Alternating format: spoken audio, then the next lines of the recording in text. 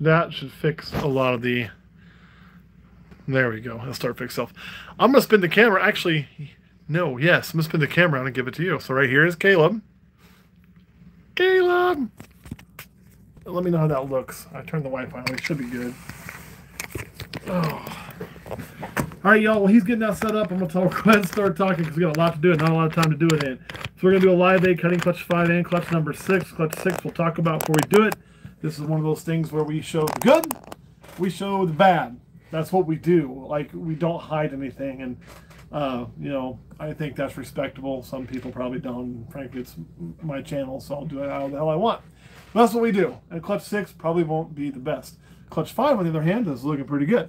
We're going to keep this one very, very short and contrite. There will be no Patreon live after because I got a Patreon live tomorrow because tomorrow is the day for your special. We have a list dropping for Patreon people at 7 o'clock. So I'm going to wrap this up before 7 o'clock. That way I'm done. They don't have to be here trying to watch this and monitor the list. Or does it drop at 7.30? I have no idea. Ooh, what time did I put that? Do you have it on your phone? Oh, man. I can't remember. If it's 7.30, I got a little more time. Er, can't remember. I think I put it at 7. Uh, so anyway, while he's checking that in case he had a note, and I can't remember for some reason right now, I want to talk about these eggs. Five of them. Uh, pretty simple. What are we dealing with here? We did have, or sorry, there's six of them. I can't count today. We actually had seven to start. We did lose one egg, or one egg was bad pretty early on, so probably was a development issue. Six is going to be a little bit different than that. Uh, but those will happen. This is our True Ghost possible pairing. So it is a Het True Ghost produced in-house, bred to a Spider Het True Ghost produced in-house. We produced Xanthics from these, we produced Ghosts from these, and we have produced once a Failure to Thrive True Ghost because, you know, nothing can be easy around here. So we're going to get rid of that. We're going to get to trimming. I can't tell you the exact day they're due. Uh, one is pipped. I think it's a day longer than we usually do. We're going to go ahead and cut six because of the condition it's in. So let's go ahead and open this up a little further and see what we got here. Since this one decided to go ahead and make a debut on its own.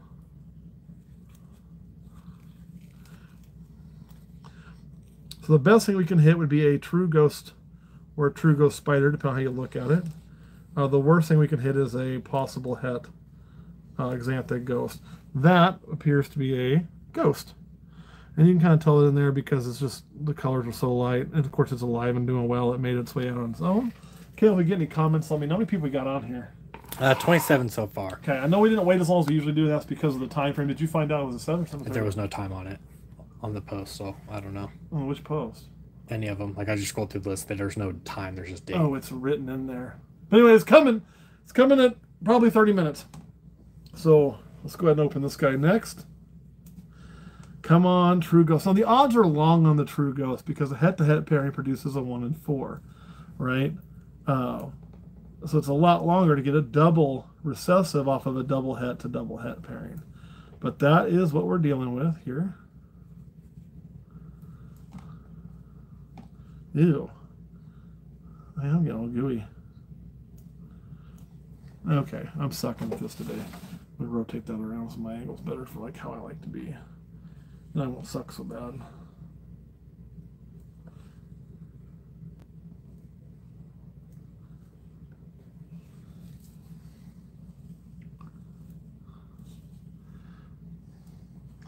That was pretty cloudy, but I think what we have in there is probably the dreaded pos het. There's a chance it just looks dark because of fluid in there. We actually have a ghost. I don't think so. I think that's the dreaded pos het. See the difference? See the difference? Hmm. We'll see. What do you think? Yeah. Yeah. This is going to be a juicy egg. We're going to cut it next. It's going to leak everywhere. Oh, beep. See, told you.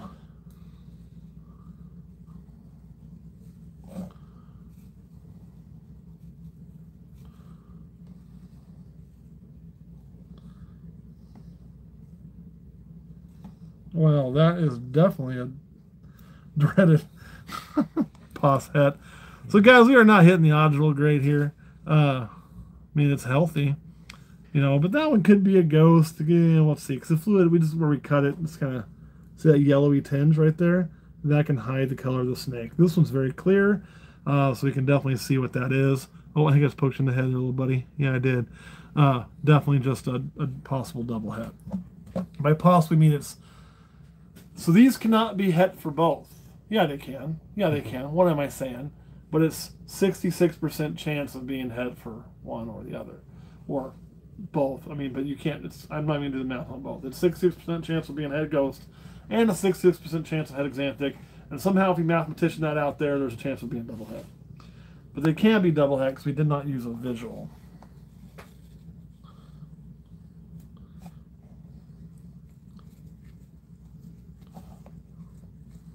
I've been like lacking sleep, y'all. I've been chasing kids around. I've had a wonderful Memorial Day. Had some of my favorite people come visit. Holy crap, holy, what is wrong though? oh my goodness.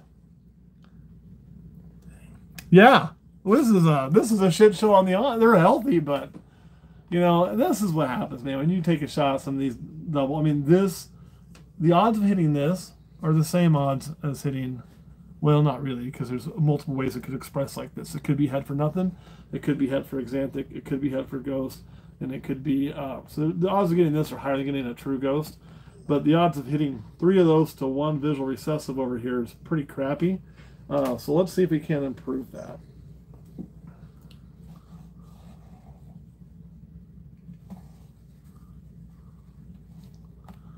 The spider's not showing through either. That's okay. I don't mind this on the spider. I like spider, but if I hit, it, I hit. If I don't, I don't. Speak of the devil, that up here. Oh, well, that's interesting.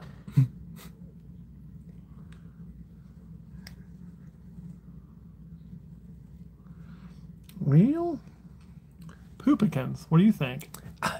I don't want to call it because it's its belly and its side, but that is pretty light for just an axanthic spider, I think. But as we see more, oh, I'm seeing more gray now. Yeah, I don't know. I think, think that's probably just- an axanthic spider. Yeah. Ugh. But hey, there for a second. hey, at least we have both recessives. Now we can get Right. them all in one egg. It would redeem all the bad odds. One true ghost would do it for me on this clutch.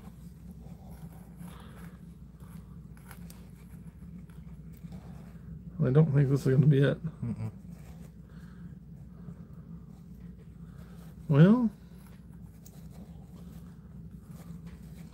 that is an axanthic spider, though, for sure. Yeah. Uh,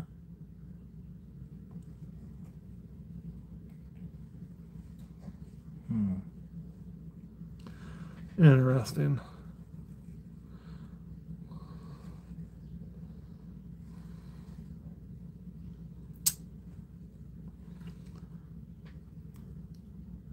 I'm not saying anything until it comes out of the egg. And you know what? In this scenario, that's really good. What I can say for sure is that is an axanthic spider. I got no doubt about that. This one probably is an axanthic spider, but could it be something more? It certainly could be. The problem is, we rotate. You just can't see much. We're not going to go too hog wild because we can be patient. We'll make a little bit extra cut for y'all. That's about all I'm going to do, though. Um, you know, because it's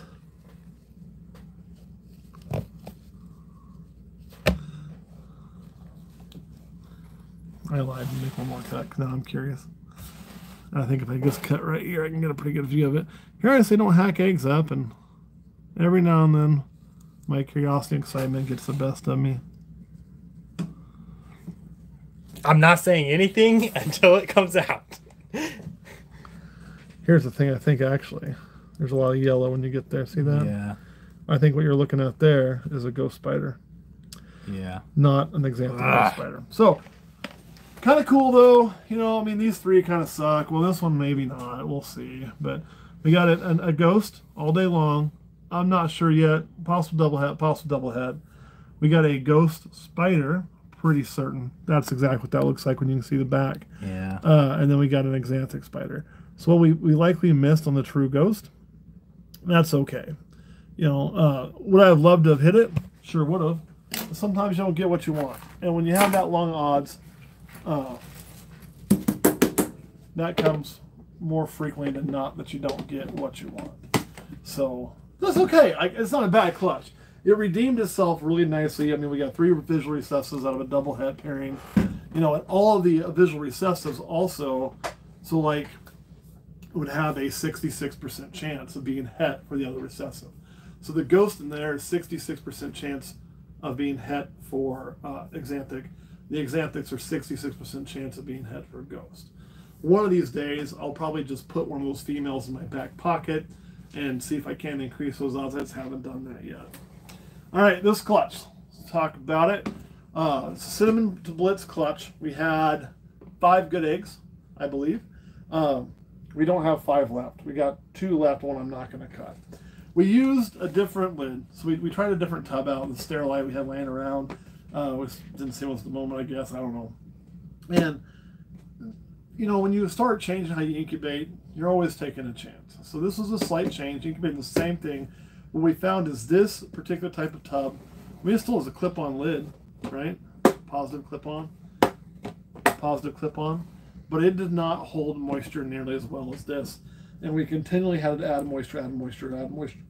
And um, the first time we noticed that, we'd already lost some eggs. You can see there's some missing spots there. That's why. So those were gone.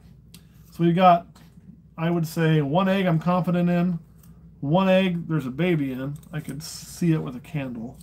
Uh, but I didn't, I can't tell you it's alive. And this egg is, I'm not even gonna worry about cutting that. It's, it's done. Now watch, watch, done. Okay, it doesn't even change form. Um, and people say, "Oh, I've seen ugly eggs hatch." I have too. I've been at this long enough to know that's not a possibility. This is an ugly egg. That is a possibility. We're going to do that last in case it isn't. Well, I have pretty good hopes for this one. So you don't want to see them this sunken in. Okay, this is our fault. Let me be clear. Over here, I said the one we lost probably wasn't our fault. Over here, the losses are probably our fault. Um, you can see we put a lot of moisture in there trying to help that out, and it hasn't really made much of a difference um, trying to get them to term by the time we caught it. So what did we do wrong? One, we changed tubs and we failed to check on it as much as we probably should have. Um, sorry, I keep watching the rattlesnake move in the background. She's to do the babies any moment too, and so that's that's on us. And and two, we, I mean we changed tubs. If you're going to make a difference, you need to check on it more frequently. And I didn't do that. I made the difference. Ran my incubator like normal. Let life get in the way, and I probably lost some eggs I probably shouldn't have had to lose. So that is a bummer. Let's see if we can salvage anything from this. I mean, you're talking at this point in time, we have a possibility of salvaging two out of five. Given a situation that's not too shabby. Uh, this is their day, and I want to make sure these things can get out of here. If they're there, there's a good chance they're small and they're weak. Also, not a genetic issue. Again, probably my fault a little bit. So I want to make sure they have a chance to come out of the egg. There is a snake in there.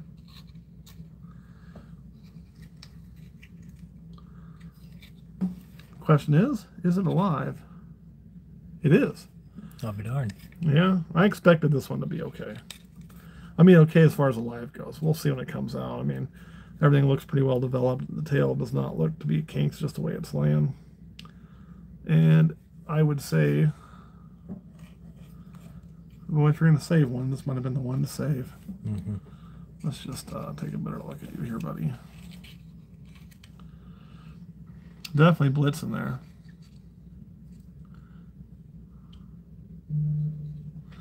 But as you can see, it's probably not going to be the world's largest baby. It is, throw scissors. If you look back in here, I'll turn the camera, I'll turn the egg for you, make it a little easier. You can see it's still got some yolk to absorb.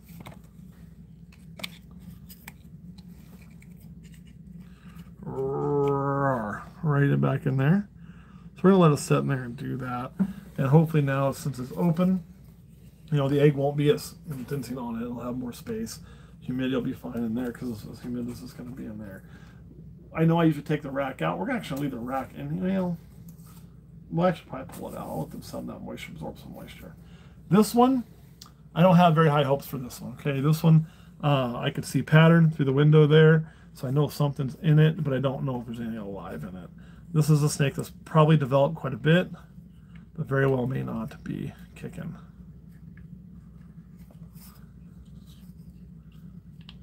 And that's going to be the case.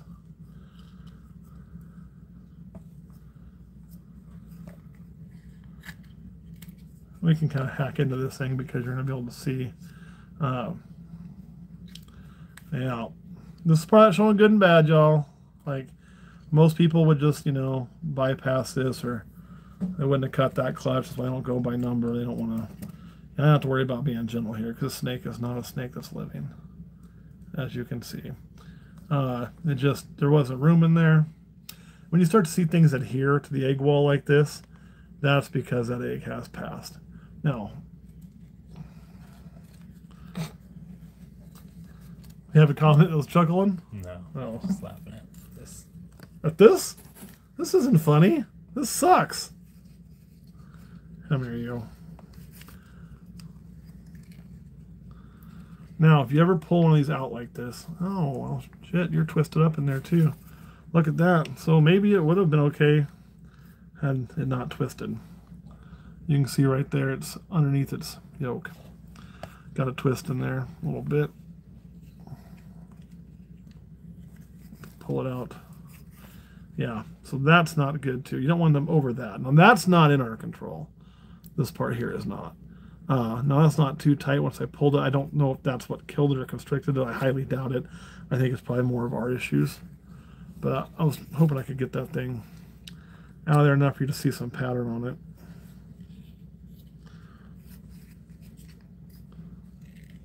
Come on, buddy. There we go. So as you can see, it was pretty far along, not all the way. Um, you know, and it's that would have probably been. Now you're gonna say, well, this is really light, man. I think there's more there than not. But you gotta remember, colors are the last things to really develop fully. I can tell you from looking at this, this would have been a blitz. Uh, you can see the evidence right there. You can see the evidence there, there, you know, right there. I can tell on the head. There's these little spots here that are pretty common in my blitz that I work with. Uh, that's what that would have been. It would not have been a blitz or cal or not a blitz calico, a blitz cinnamon at all, just a straight blitz. Uh, would have been oh, ate a bug. Would have been a nice snake still, but unfortunately, not going to be survivable. So we'll stick that there. Uh, anyway, that's one of those bummer things that happen. Now I'm going to go ahead and set this down here. The reason is that a little bit of moisture. Well, actually, you know, I don't have to worry about drowning the egg now, right? If it sucks some moisture up, that's fine. It'll just keep some moisture in there. And we'll let that thing come out on its own and pull it as soon as it does. Um, hopefully that egg that's developed fully, but we are going to be dealing with a small baby. That's just fact of life on that one. Probably like a 40 grammer maybe. All right. Whew. We only have about 10 minutes till 7. So we'll field a few questions and I'm going to get off here. Uh, pull some eggs, which will be clutch number 16. Yes. Yes. I expect 17 any day now, and 18 is not far off. So uh, we are up to, I think, right about 40 ovulations. So we're going to have a decent year. Um, this pisses me off. You know, like, guys, we've had a few, like, we had one clutch that was all selects this year. That sucks. You know, we had another clutch just now we pulled the other day that was uh, pretty pathetic. It was two good eggs, one, eh, and uh, what, three slugs?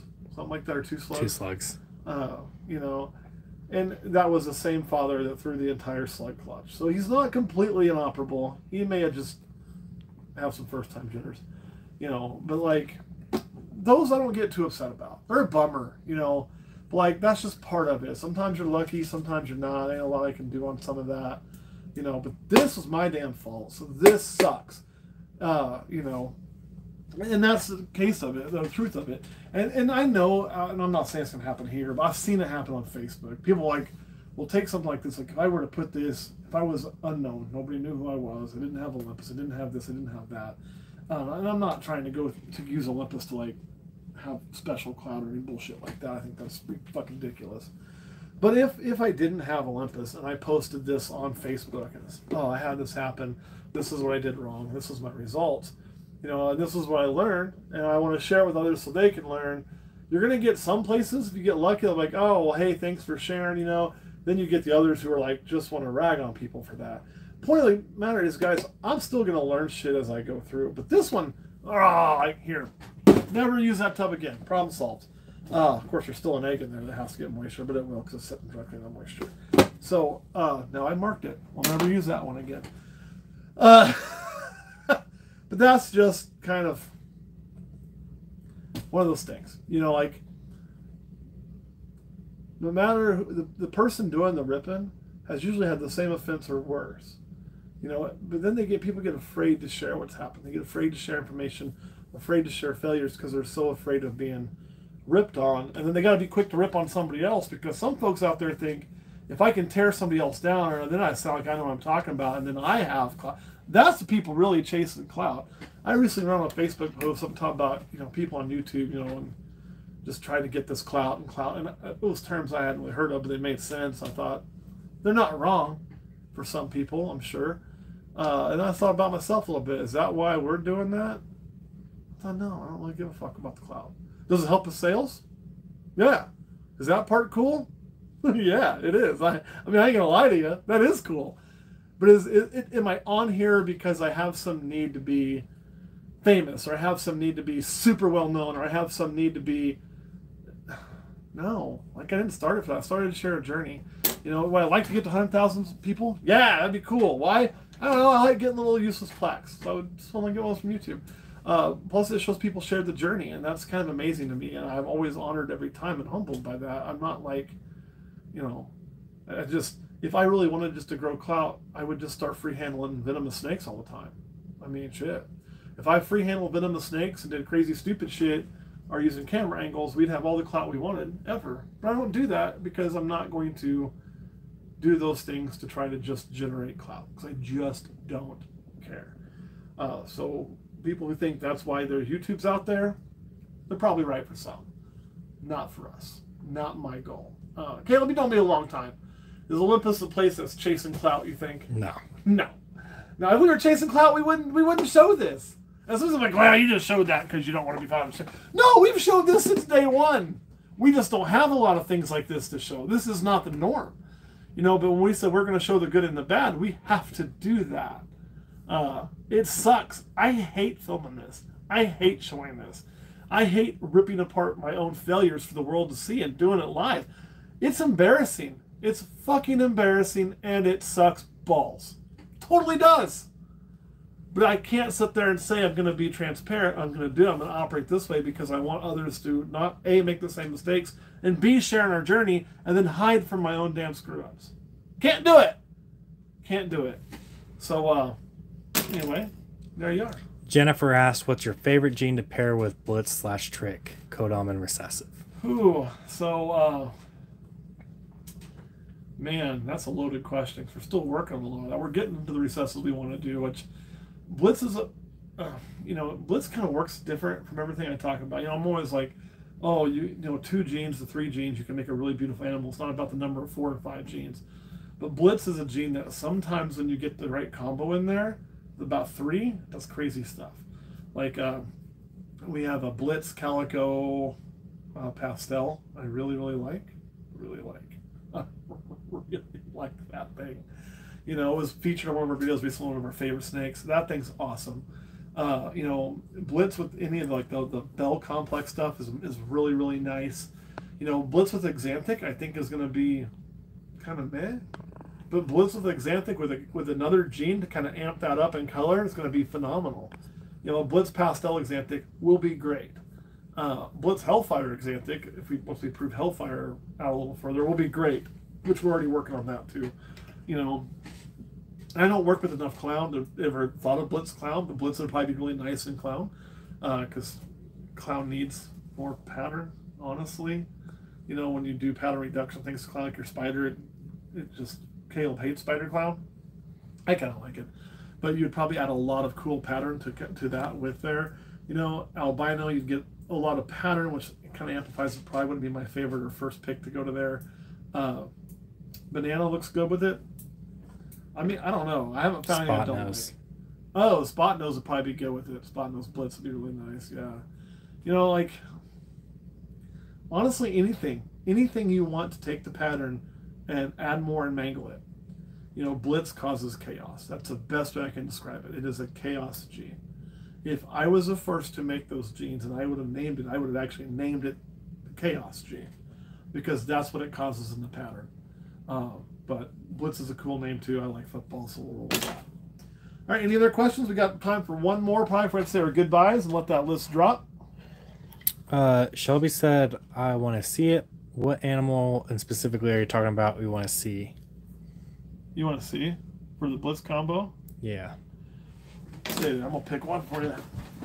Not sure which one I'm gonna pick yet. See which one. one of them I'm not messing with too much. Yeah, we're gonna let you be. I'm gonna use this one for mine.